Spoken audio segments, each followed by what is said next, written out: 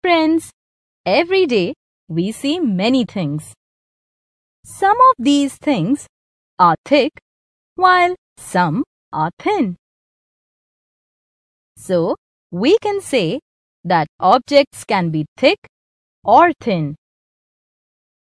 Let us now look at some examples of thick and thin objects. Look at this red book. It is thick. Now, look at this green book. It is thin. Similarly, the chalk is thick, whereas the pencil is thin. Now, look at these two candles. The white candle is thick and the pink candle is thin.